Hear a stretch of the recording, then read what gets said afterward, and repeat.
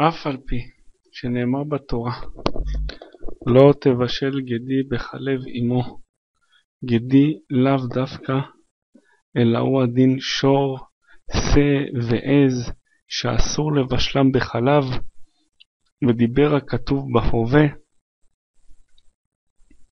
קוי שהוא ספק חיה ספק בהמה, אסור לבשלו בחלב, משום שספק דאורייתא לחומרא. יש אומרים שחלב הרי הוא כדין בשר, ולכן אם בישל חלב עם חלב, עובר על, תבש... על לא תבשל גדי בחלב אמו, ואם עשו כן, התערובת אסורה בהנאה.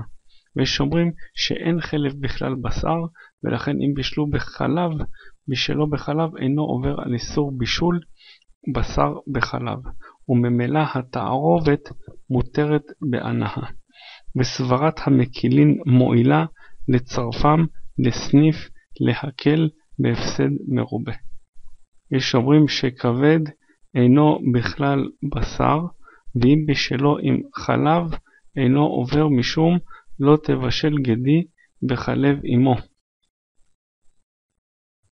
שכבד כולו דם ואין לו תורת בשר לעבור על בישולו בחלב.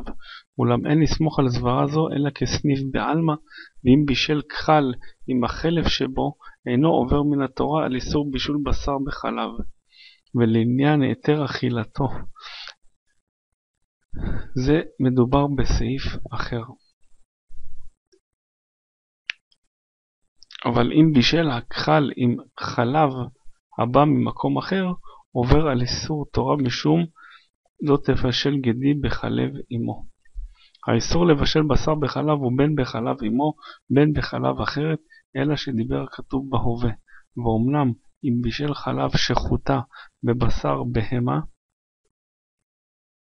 אינו עובר מן התורה משום בישול בשר בחלב.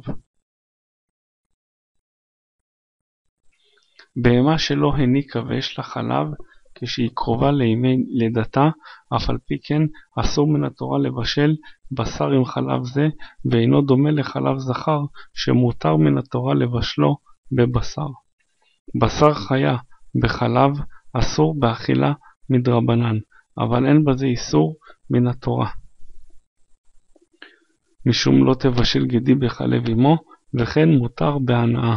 איסור אכילת בשר עוף בחלב היא מדרבנן, ולכן אם נפל עוף לתוך חלב רותח, ולא היה שישים כנגד העוף, מותר להרבות על החלב עד שיהיה שיעור שישים כנגד העוף. העוף אבל אין התערובת כולה נהפכת לאיסור שנצטרך לשער כנגדה. ואומנם יש אומרים שאיסור אכילת עוף בחלב הוא מדאורייתא, ולדבריהם יש ללך בספקו להחמיר כשל תורה.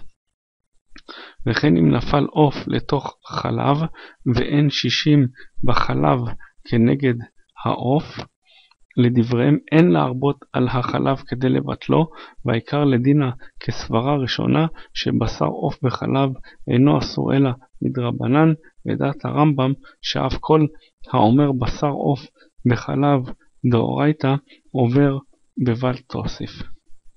ברוך ה' לעולם, אמן ואמן.